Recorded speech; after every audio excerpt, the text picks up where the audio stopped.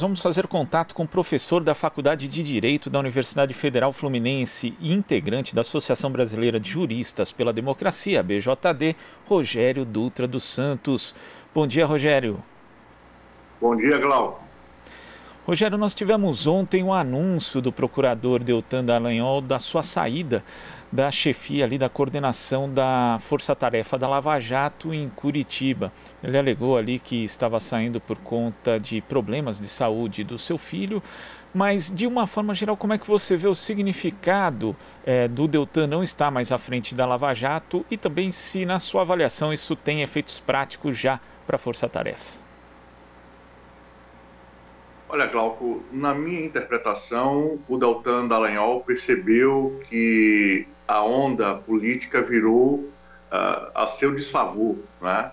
Então, existe já uh, consolidando-se na opinião pública uma crítica muito grande ao tipo de condução que ele realizou na Operação Lava Jato, eivada de ilegalidades e abusos e perseguição política, especialmente a ao ex-presidente Lula. Então fica claro que, eh, apesar da blindagem que até hoje o Conselho Nacional do Ministério Público tem dado ao Dallagnol, eh, permitindo que os, os, os, seus processos, né, os processos contra o Dallagnol fossem eh, arquivados por decurso de prazo, ainda assim a maré é contrária e hoje a gente percebe que aquela perseguição política contra a esquerda, na verdade, ela, ela fracassou né, em alguma medida, embora eles tenham conseguido aí facilitar a derrubada da presidente Dilma Rousseff, mas fracassou na medida que hoje a Lava Jato ela não tem mais é, uma liderança, vamos dizer assim, moral sobre a narrativa política do país. Inclusive hoje a Lava Jato começa a se prestar a, a defender grupos milicianos, né, o que, que a gente está vendo aí com o caso aí é, do Rio de Janeiro. Então, o lavajatismo hoje, essa, essa expressão de funcionamento de parte do judiciário, tem inoculado outros, outros é, setores, como, por exemplo, o, o, o, Superior Tribunal de Justiça, e isso tem feito com que é, a politização do judiciário seja cada vez mais escancarada socialmente, e, obviamente, o judiciário não pode ser considerado um poder uh, politizado, nesse sentido de um poder partidarizado, como alguns setores importantes têm se mostrado hoje. Agora, Rogério, a gente tem aí, teve a subprocuradora Maria Caetana Cintia dos Santos, do Conselho Nacional do Ministério Público, prorrogando né, de forma liminar a atuação da Força Tarefa em Curitiba. A atuação que oficialmente vai até dia 10 de setembro, ela prorrogou mais uma, uma decisão provisória, na verdade, que pode inclusive ser revertida. Você via a necessidade disso ser feito, já que, na verdade, o mérito dessa questão da prorrogação ou não ainda vai ser analisado pelo Conselho? Ou ou, na verdade, a subprocuradora quis criar mesmo um fato político em torno ali da força-tarefa da Lava Jato? Olha, existe todo um processo de degradação institucional do Ministério Público Federal em alguns setores, especialmente por conta desse corporativismo que tem sido, uh, que tem avançado bastante dentro da corporação. Tá? E esse corporativismo muitas vezes implica em uma defesa política e muitas vezes é, fora da racionalidade legal em relação a alguns aspectos. Por exemplo, se a gente pensar que a, a própria existência dessa, de operações é, é, é uma questão constitucionalmente problemática e, e, também institucionalmente problemática. Por quê? Porque o Ministério Público ele é obrigado a, a, a gastar mais com diárias. Né? Então, tem muita gente é, ganhando dinheiro ao participar uh, dessas operações. Né? Além do salário base, você ainda ganha um conjunto de diárias que podem se estender por meses e às vezes anos, como foi o caso do, do, dos procuradores envolvidos com a Operação Lava Jato. A questão constitucional é que esse, essa lógica da operação acaba juntando é? investigação com acusação, a Polícia Federal com uh, o Ministério Público, o que não é uh, correto de acordo com a nossa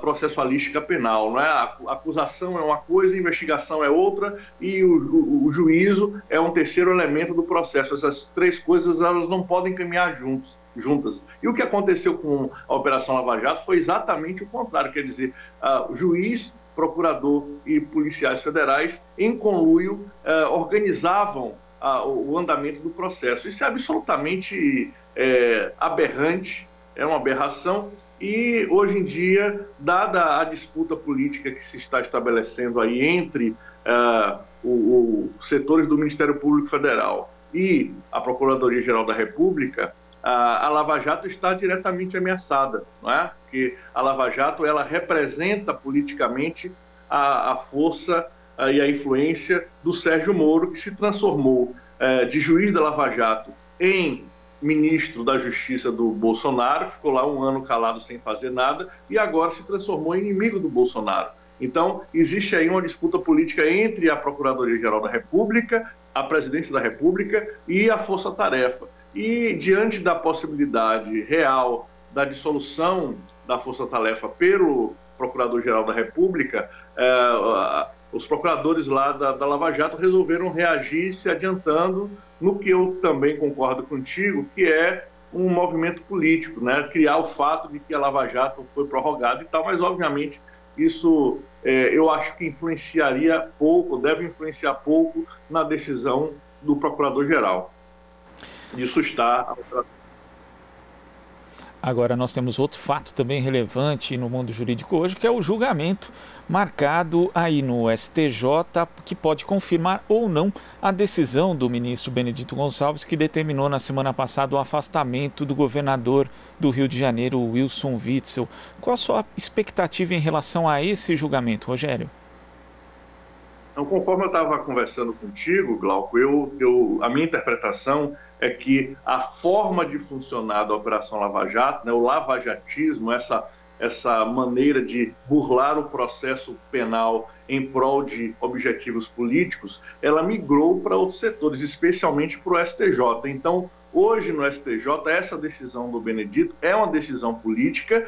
É, os jornais dão conta de que esse ministro está articulando politicamente com outros ministros para que eles aprovem a, o, a sua decisão. Então, provavelmente a decisão hoje vai ser é, de, de é, contra o, o, governador Witzel, de mantê-lo afastado, por conta desse, dessa politização do processo. É claro que é, eu acredito, né, essa é uma leitura pessoal, eu não li o, o, processo contra o governador, mas eu acredito que existam ali elementos suficientes para chancelar essa decisão, mas isso não significa que ela deixe de ser uma decisão política, tá? porque a gente tem que é, reforçar a, a lembrança de que é muito grave um governador democraticamente eleito é, ser afastado por uma decisão monocrática de um juiz. Né? Isso é extremamente grave, quer dizer, é, é, é um, uma espécie de, de antessala do lavajatismo na história constitucional brasileira. Desde os anos 90,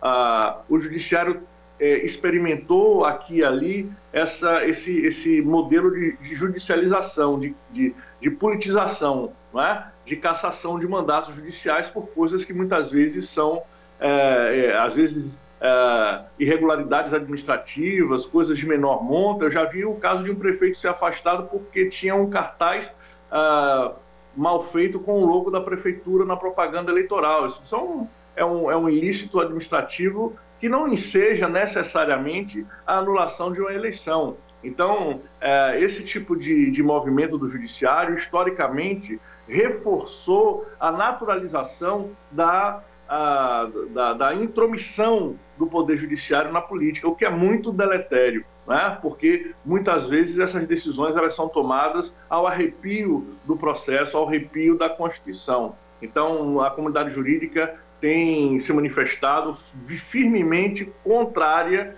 a essa decisão do ministro eh, do STJ, no sentido de que um juiz não pode eh, monocraticamente eh, suspender o mandato e afastar o, o, o, governador democraticamente eleito. Por pior que a gente ache que seja esse governador, por mais é, suspeitas que nós tenhamos de que ele efetivamente cometeu crimes. Né? Não se trata disso, se trata de defender o devido processo legal, e defender o devido processo legal representa uma garantia cidadã para todos nós e para todos aqueles que nós consideramos é, é, que licitamente podem participar da vida pública. Então, se hoje fazem isso com o governador extrema-direita, com o governador que está é, evado de suspeições, é, violando o processo penal, mesmo assim, é, o que é que vai acontecer amanhã com pessoas que estão ali em cargos públicos sem nenhum tipo de, de mácula na sua trajetória? Então, é uma preocupação que deve ser uma preocupação de todos nós é, e, e, e, eu repudio, repito, essa decisão aí monocrática uh, do, do, STJ. E a minha, a minha expectativa para o julgamento de hoje é que haja uma decisão, se não de maioria absoluta, da, inclusive uma decisão unânime em relação ao afastamento do Witzel, porque existe uma politização muito forte do, do STJ lá em Brasília. E quando você ressalta, Rogério, essa influência do lavajatismo, que a gente pode caracterizar aí por esse justiçamento baseado numa suposta opinião pública, sem respeito ao devido processo legal, com seletividade, a gente vê aí algo que você advertia, também muita gente advertia já no início dessa, dessa, dessa onda, na verdade, que é justamente que o lavajatismo uma hora pode se voltar até contra quem se beneficiou dele ou contra quem é, surfou também nessa onda, que é o caso do governador do Rio de Janeiro, Wilson Witzel, que foi eleito com base num discurso moralista, com, né, de combate à corrupção e de apoio à Lava Jato. Agora a gente vê ele sendo vítima e pode ser que outros integrantes também, outros adeptos do lavajatismo sejam vítimas disso no futuro, Rogério.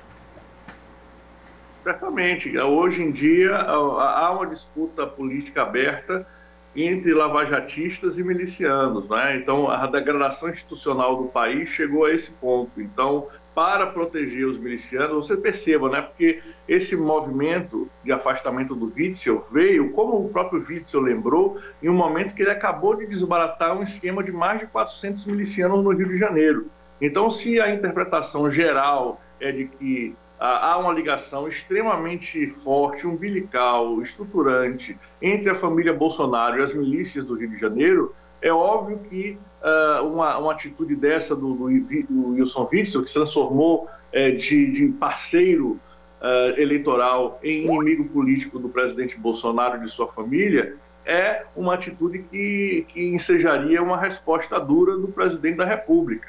É obviamente que o Wilson Witzel, é, por ser absolutamente é, naive, né, ingênuo politicamente, só fez é, atitudes extremamente é, estabanadas aí no governo, no governo do Estado do Rio de Janeiro, né, inclusive a de assim, conseguir a façanha de ter a 100% da Assembleia Legislativa aprovando a, a investigação, a, de, né, o início do processo de impeachment aí contra ele, um negócio é surreal. Na história do Brasil, eu não me recordo de, de, de uma unanimidade política desse, dessa envergadura. Então, uh, essa oposição aí entre a extrema-direita, hoje representada pelo Edson Witzel, e o milicianismo, né, o, aí pela família Bolsonaro, ela está em pleno vapor. Essa, essa oposição aí, ela, ela está é, se realizando através do Poder Judiciário, é, de uma forma vergonhosa para o próprio Poder Judiciário. A gente sabe hoje que a, a probabilidade do Wilson Witzel ser afastado através de um processo de impeachment dentro da Assembleia Legislativa do Rio de Janeiro é, é quase que inafastável. Né? Esse, ele vai ser afastado por impeachment pela Assembleia Legislativa do Rio de Janeiro. Né? É, essa não é uma aposta, é, é uma obviedade. Ah, então, por que, que o judiciário está se adiantando nesse processo, tentando é, criminalizar já o Wilson Witzel? É exatamente por conta dessa resposta aí política do próprio Wilson Witzel de perseguir é, os milicianos no Rio de Janeiro. Tá? Então, nada de graça. Não é? Ele não está fazendo isso e não fez esse movimento porque ele quer combater a criminalidade. Ele fez esse movimento para enfraquecer a família Bolsonaro. Tá? É, isso é bastante óbvio também. Então, é, é muito lamentável que essa situação de degradação política esteja chegando é, a esses graus é, do Poder Judiciário, né? quer dizer, o STJ, a PGR, todas envolvidas aí, essas instituições, na defesa, uh, na defesa uh, da, da, família Bolsonaro e na perseguição dos seus oponentes políticos, começando aí pelo governador do Rio de Janeiro, Wilson Witzel. Tá certo, Rogério. Eu queria agradecer sua participação aqui no Jornal Brasil Atual e até a próxima. Um abraço, Glauco. Tudo de bom e bom trabalho. Abraço para você também. Conversamos aqui com o professor da Faculdade de Direito da Universidade Federal Fluminense, integrante da Associação Brasileira de Juristas pela Democracia, ABJD, Rogério Dutra dos Santos. Você está ouvindo Jornal Brasil Atual. As notícias que os outros não dão.